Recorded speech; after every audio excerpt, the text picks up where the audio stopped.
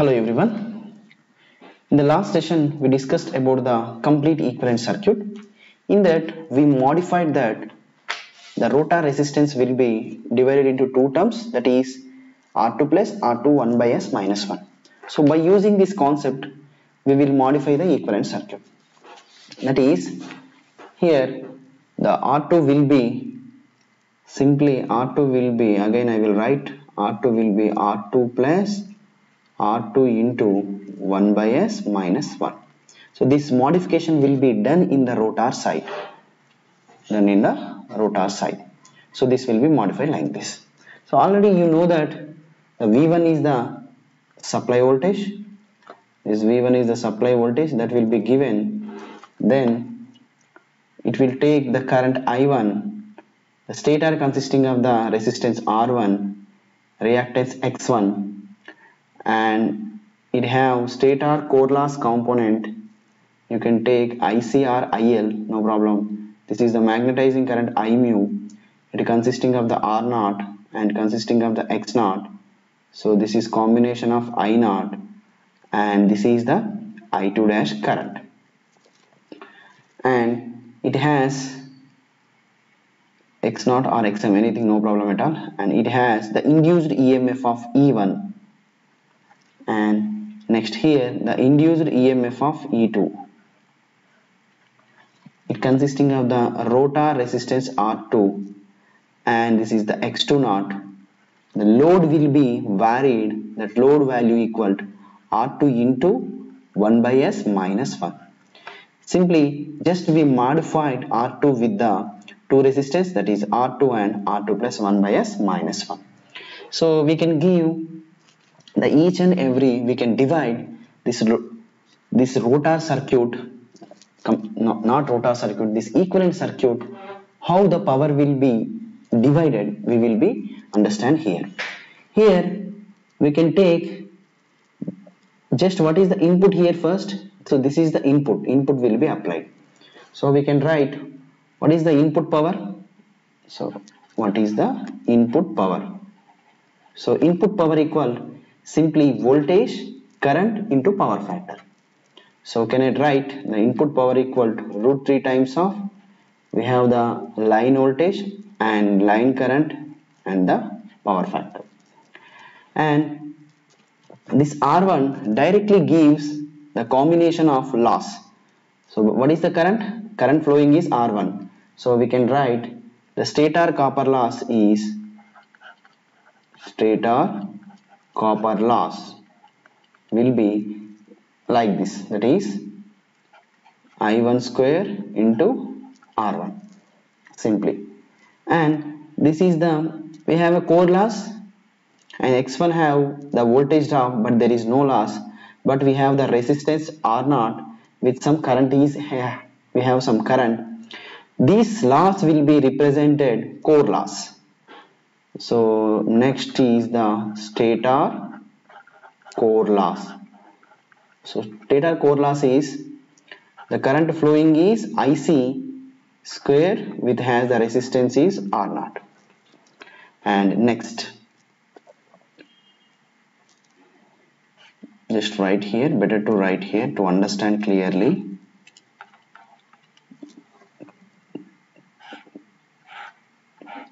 next and next is stator output. Stator output. So he, this area will be having the stator output. So he, from this point stator output will be generated. And this this the power generated from this winding is stator output. And say, so from the air gap it is entering into the rotor. And this is the current flowing in the rotor I2 what is this?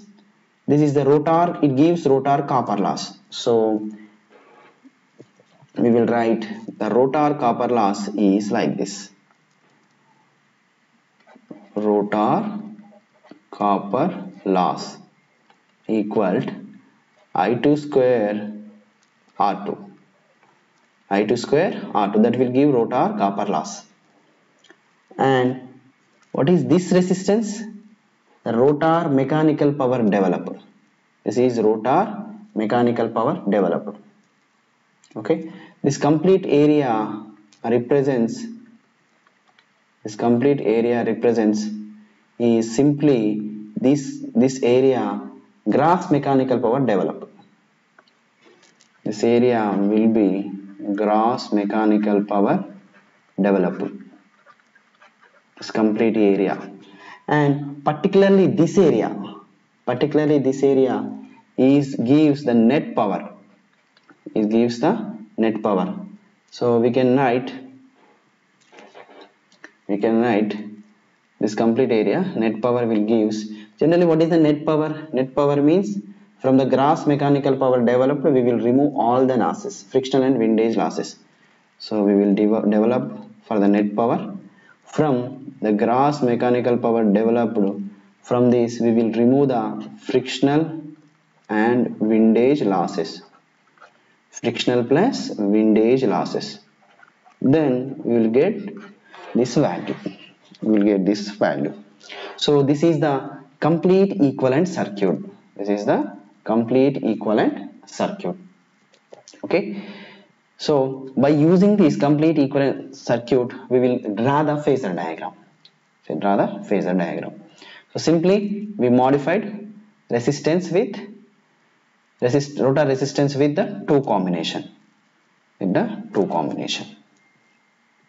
Next we will move on to the complete phasor diagram. So we will use this equivalent circuit. We will draw the complete phasor diagram. So before this just we will draw. So what are the conditions again? We will recollect what are the things available. The things are i1 current equal the no load current plus i2 dash. Just write it. So the i1 current stator current is nothing but they simply it is i2 dash plus as well as no load current and what about what about the supply voltage? Supply voltage is nothing but the drop across this and generated EMF so can I write like this?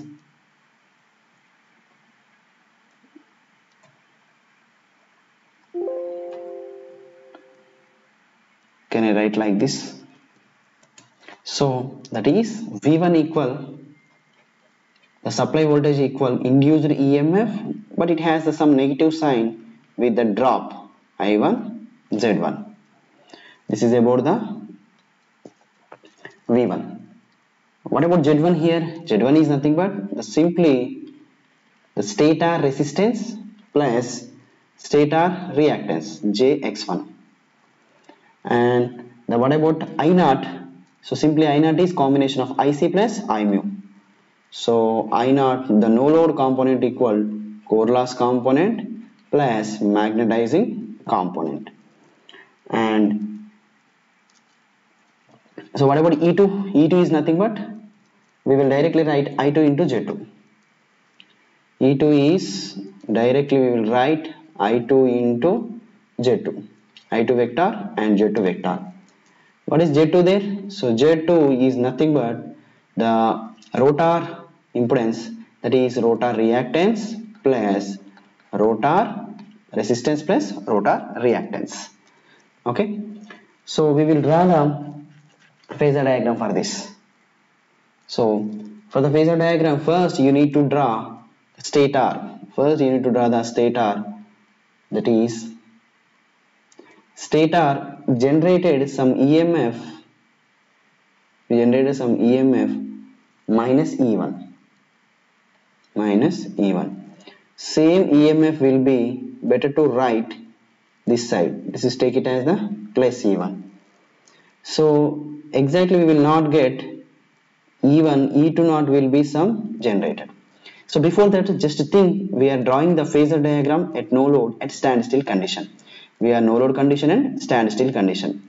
Standstill condition means the speed is 0 then E2 is become E2 naught here slip is become 1 same x2 is become x2 naught. Slip is become 1 okay? So E2 naught will be here. And and next. Always for the flux we have so magnetizing component 90 degrees with the supply. So thus we will take it as flux in this direction in the flux we have the magnetizing component I mu is like this. So always core loss component is parallel with that. I will take the IC so this combination of I mu and IC we will get the no load current I naught. No load current I naught. And next we have the E2 naught is there. It will generate some current.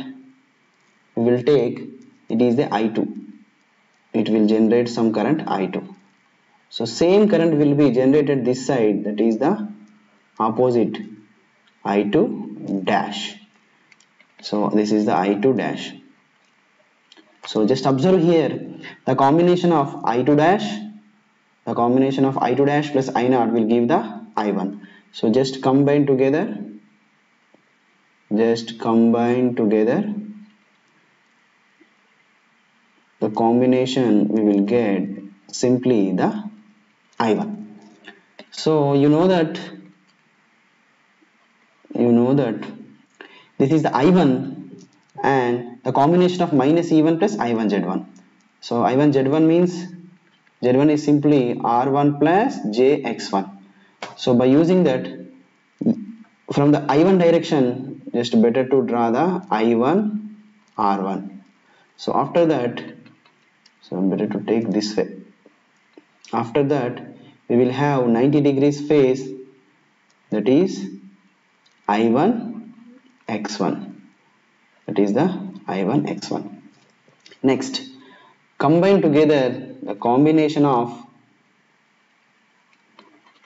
the combination of minus E1 uh, plus I1 R1 plus I1 X1 we will get I1 Z1 that I1 Z1 is